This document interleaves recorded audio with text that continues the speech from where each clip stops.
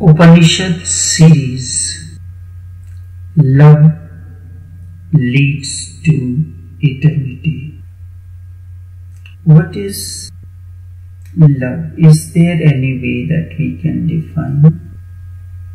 When you are happy within, you are blissful, you are harmonious, there is a dance and a song within, then whatsoever flows out of you, a presence, words, a gesture, is love. And when it begins to flow within towards the being, then it is meditation. Love is the only natural quality that has the fragrance of eternity in it. Eternity means oneness. Eternity means oneness. Eternity means harmony. Eternity means totality. Eternity means we are part of one harmony. We are not separate from one another. Instead, we are bound to each other by a causeless force. We are bound to each other by a causeless force. And you are aware that you are interconnected with one another.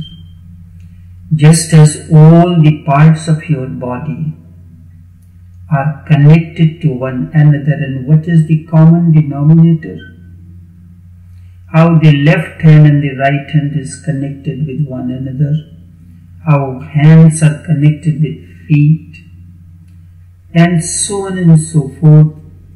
When one part of the body feels pain, it is the whole body feels the pain.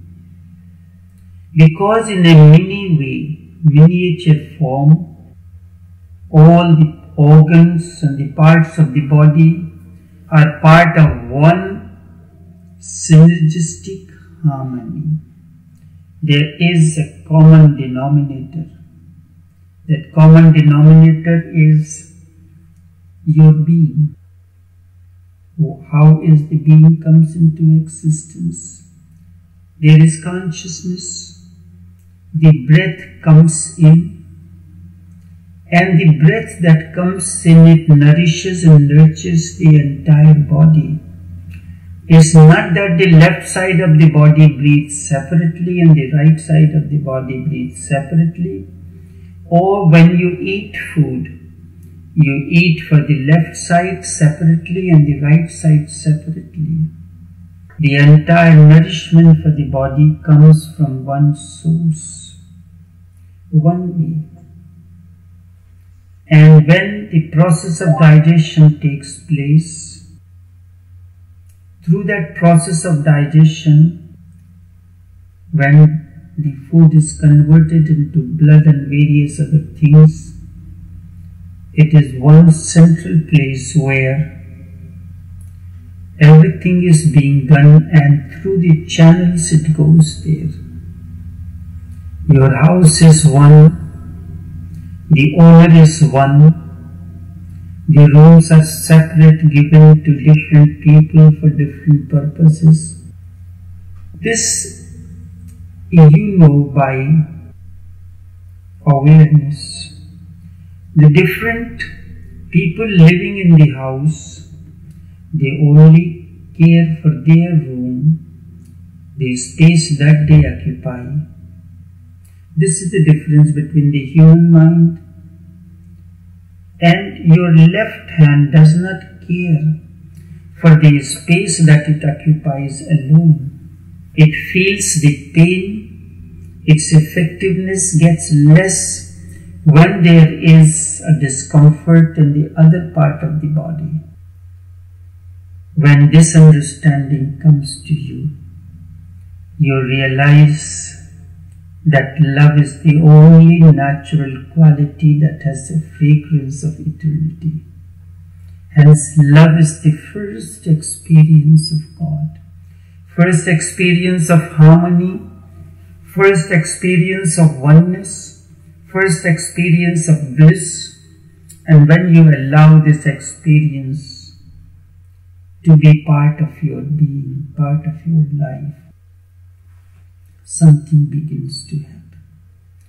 God is much more than that, but love is the door. In order to enter a particular place, you enter through the door. And when you use the door, you come in or go out. Through love, you can come in in that space, and through love as well, you can come out of that space. Love is natural. So love functions as a bridge between man and God. If the bridge is not there, you cannot reach the other shore. You are on this shore, God is on the other shore, and love bridges the two shores. With love, immediately you start understanding God in a new way.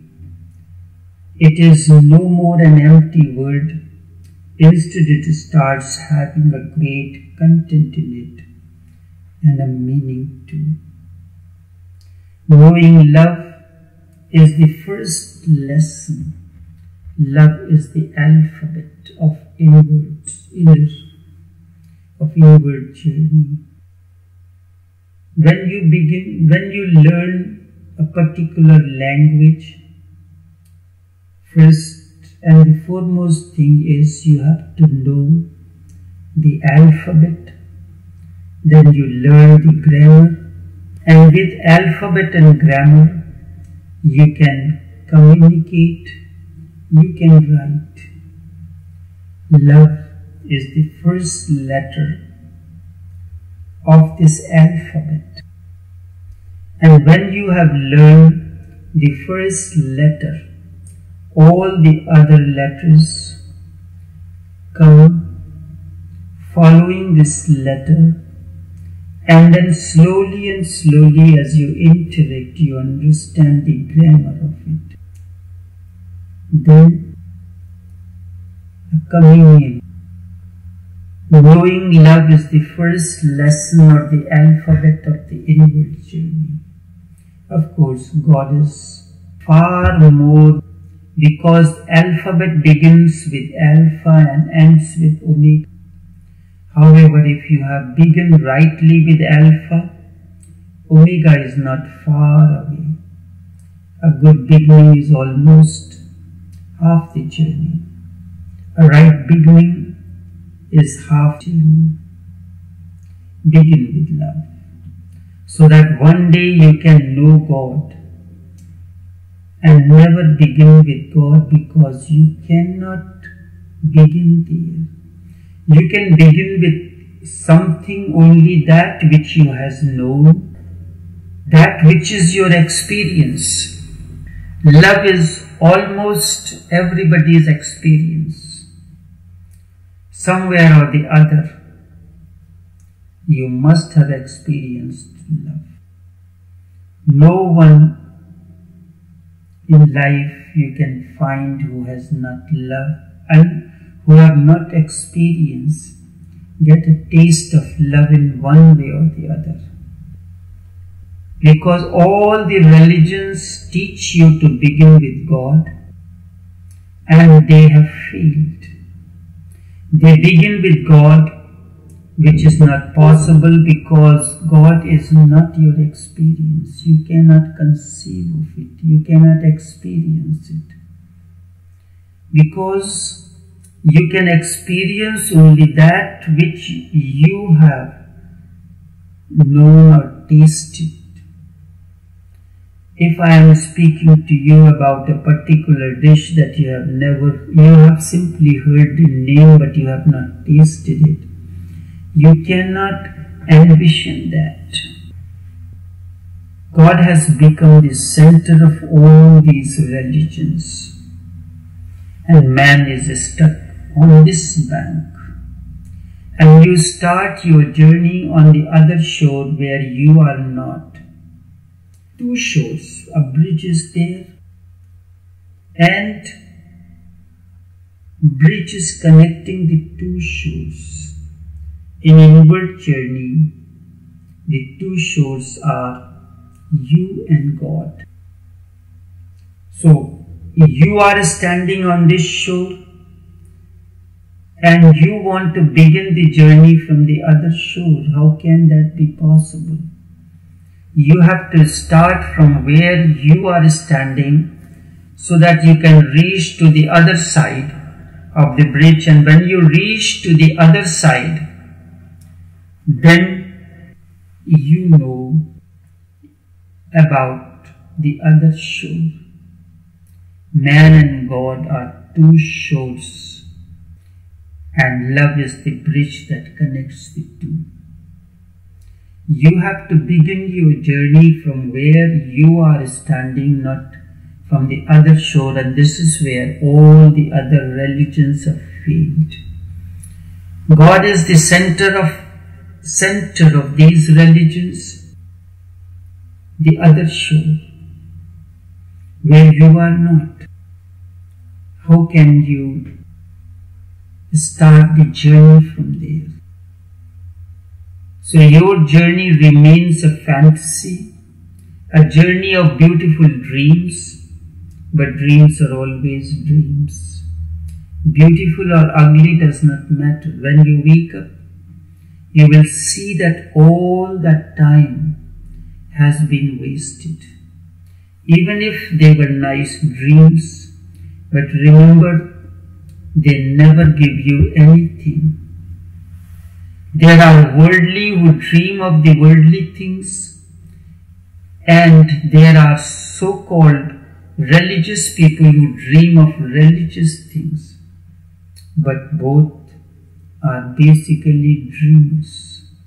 Certainly, both are stuck on this shore. God is the farther shore. A bridge or boat is needed if bridge is not possible. Love can function both as a bridge and as a boat take you to the other shore. Either it can become a bridge or it can become a boat, but, in, but it can take you certainly to the other shore. There is no other way. The so-called religions teach you to begin with God and of course then you have only to believe in God. You cannot connect to God you do not know, therefore you have to believe. Believe means you know nothing, so you impose something, yes, there is. This dish is very tasty because you have heard someone saying that. Unless you taste it, you will not know much more than that. You do not know, therefore you have to believe. This is how superstitions begin. All kind of stupidities will be born out of it. These stupidities are known as Christianity, known as Christian, Hindu, Muslim and Jews. And there are thousands of forms. Stupidity comes in every size and shape and all colors. Whatever you choose, it is available. The market is full of stupidity and you have infinite variety to choose from. It is a marketplace where these stupidities are being sold. You can go on changing from one stupidity to another and there is no end to it but you will not know the taste. Unless you know, you do not know. Believe is not knowing, instinct, it is a deception. You have not tasted it, but you believe in something. And when you look into most of these religions are belief oriented. Belief goes on deceiving others as well as you. And I am not worried about others. If you deceive others, it is okay.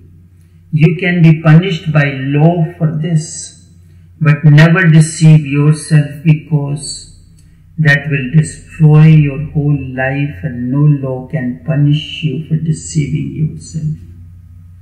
No law can punish you if you are deceiving yourself.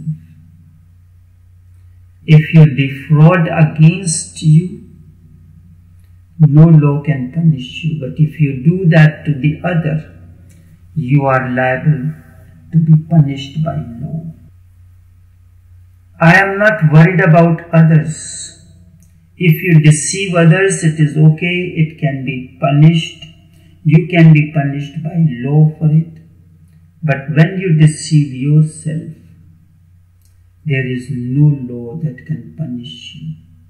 And my understanding is that person who deceives himself is the person who will deceive others as well. The person who cannot deceive himself cannot deceive others either. It becomes impossible for him to deceive at all.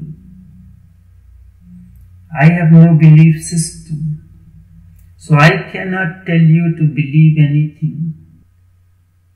Like a scientist, I ask you to go through the hypothesis, experience yourself. There is no need for you to believe that I am saying that. What I am saying is my experience. I said to you, told you, the water boils at 100 degrees Celsius. This is the conclusion. But for that, you need a, a pot, you need a stove, you need a electrical connection or the gas connection. If you do not have the gas connection, that hypothesis what I told you that water boils at 100 degrees Celsius, you will find it wrong. If your electrical connection has a shortage, then this particular statement will not work for you. If your gas supply has finished, the stove is not lit, you can go on believing that Taosho Buddha says water boils at 100 degrees Celsius. This is not your experience. Belief is a great deception. I cannot tell you that. The only way to begin is with love because that is natural phenomena. Everyone is born with a quality of love, a loving quality. The only thing you need to do, you have to purify it, refine it, so that it comes in all that is superfluous around it. Many layers that surround this fruit of love are removed.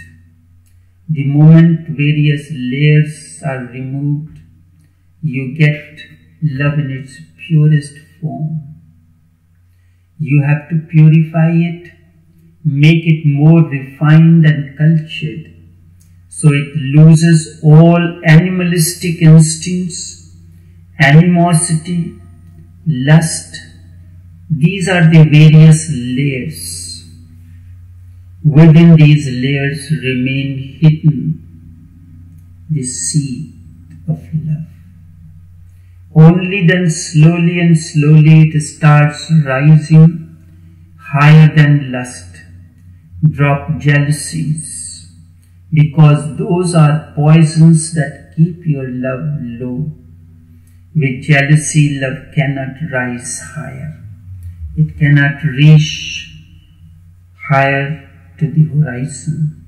However, as possessiveness, ego, tricks, domination go on dropping, then slowly and slowly your love will become weightless. The, it will begin, the seed of love will begin to sprout. And a moment comes when there is no jealousy, no possessiveness, lust, then love is pure. Its flower will blossom. You have the wings now, you can fly. You can fly. Now you have something in you which can take you to the ultimate source of life. And what is the ultimate source of life? Is God. Hence I say love is the first glimpse of eternity. And the last glimpse is God journey is from love to God. Love is the beginning and God and God is the end of love. Love is the beginning of the journey that you call God and God is the end of love. Two shows, beginning, Alpha and Omega. One who doubts to the very end finds the answer. One who inquires to the very end comes to know what is. And then you have discovered one shore. When you have discovered this shore, you are immediately connected to the other shore. The love, when it is freed of lust, jealousy, hatred, and all these things. What happens within your body? The energy that was stuck at the level of possessiveness, at the level of jealousy, at the level of hatred, is released from there. And the moment it is released with a great force, it begins to move upward. It opens other doors. And connects you to the out center outside. And there when still the journey continues it opens up the heart center.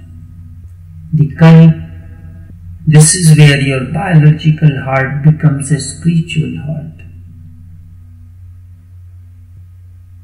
Then your expression becomes different.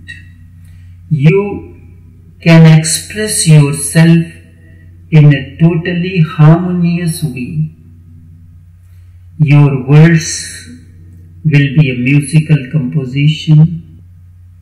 It has two things in it. That is what the, the Indian music calls it tal. It comes from the two letters ta and love. One binds the other. A great synthesis happens. Then whatsoever flows out of you, it is the expression of inner harmony, light, when the two poles neutralize one another, it becomes light. When there is a great understanding, it is harmony. And then the, as soon as the heart center opens, you have a new way of looking at the things, understanding the things, so far you have been trying to understand everything through the realm of the mind. Mind is dualistic. And when heart center opens, harmony and the light is there. Consciousness is born and you now look at everything through consciousness, through the eyes of harmony, oneness. This state of interacting into the outer world is meditative way of life. And then mind wanders. Everything in the cosmos has to work. It is in the morning hours the flowers starts blossoming, birds starts chirping, the commuters starts rushing on the road to reach to their workplace. All the stakeholders starts their work, the garbage people starts coming to collect the garbage because they have to keep the place clean and tidy. Pause for a moment, then so that that disturbance does not feed into your system. Instead of grumbling about it, which normally is the way of the mind, how can I meditate when the dog is barking?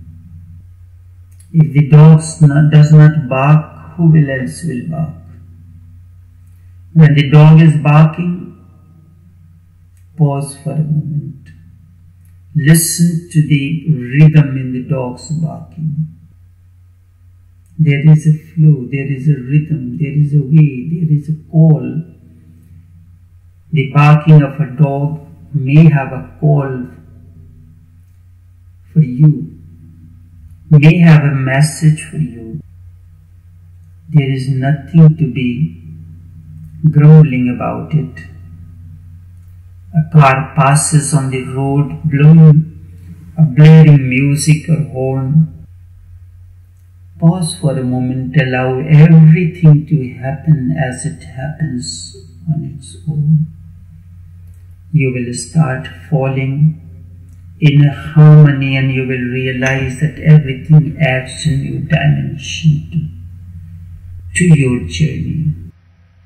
When you are journeying along the highway or these byways, there are many attractions, but your goal is to reach to your destination. You pause for a moment and you continue your journey. Then and only then you are not guided by the mind. Instead you are guiding, guided by another energy. You are guided by the mind, by the intelligence, by the understanding of heart and the mind of the heart, the understanding of the heart, the language of the heart is consciousness. Consciousness is the language of the heart. It is the grammar. It is the technique to communicate to create a communion with the outer world, with the people all around. You are on a different journey. Love is eternal.